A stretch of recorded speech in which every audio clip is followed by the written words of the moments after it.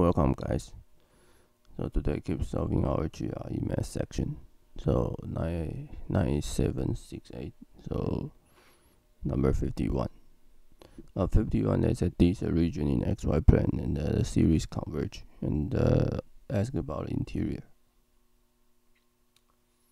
Okay, so uh, uh, usually uh, to test the series converge or not, uh, what we will use is the is the ratio test. Uh, so uh, so the way we solve is we, we use ratio test and a test where which uh, whether uh, the region is, is what we want. So basically this is the region, the series, so and we calculate ratio. So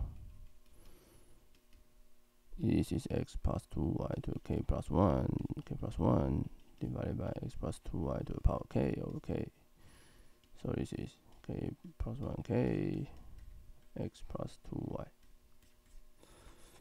And then we limit k goes to infinity, this term is 1.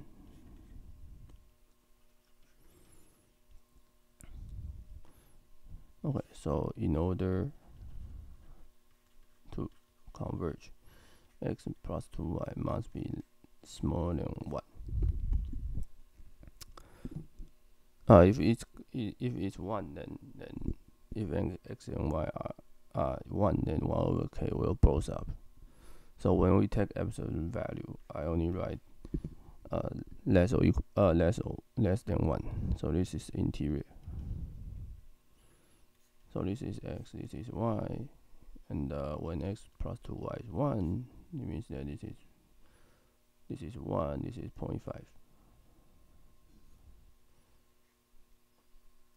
and this is minus 1 so this is the region uh, which is converge which is converge.